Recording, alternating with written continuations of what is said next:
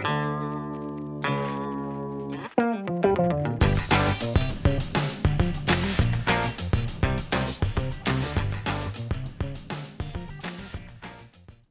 to Goldie tasteful kitchen. आज हम एक अच्छा सा रायता लेकर आए हैं, जो मैंने टोमेटो राइस के साथ खाया है। तो मैंने सोचा आपको ये अलग से झटपट बनने वाला रायता बता देती हूँ। ये मैंने एक कप कर्ड ली है। ये एक हरी मिर्च को मैंने बीज निकाल दिया है, उसको बारीक काट लिया है। आप देख सकते हैं। और ये नमक स्वाद के अनुसार है। धनिया पत्ती चॉप्ड मैंने दो टेबल स्पून ली है। अच्छे से धो के यूज़ करना है। एक कप पानी लिया है। ये थोड़ा पतला बनता है और थोड़ा काला नमक लिया है।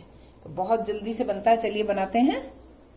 और दो मीडियम हमने ये प्याज ली है। इनको हमने बारीक ऐसे काटा हुआ है। आप देख सकते हैं, ये बहुत बारीक कटी हुई है।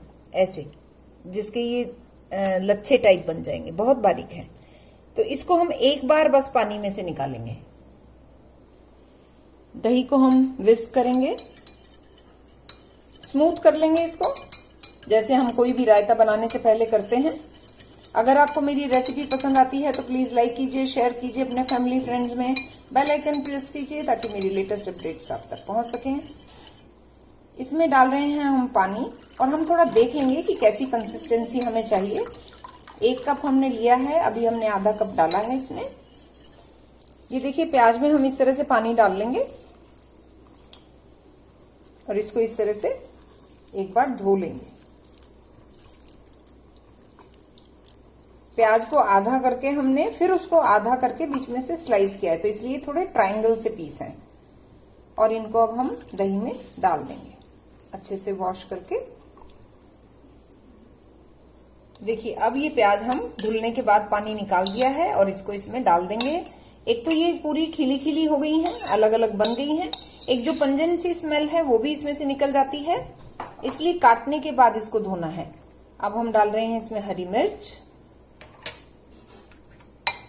कटा हुआ धनिया, ये नमक, और ये काला नमक। ये सब स्वाद के हिसाब से आप डालिए। मिक्स करते हैं इसको अच्छे से।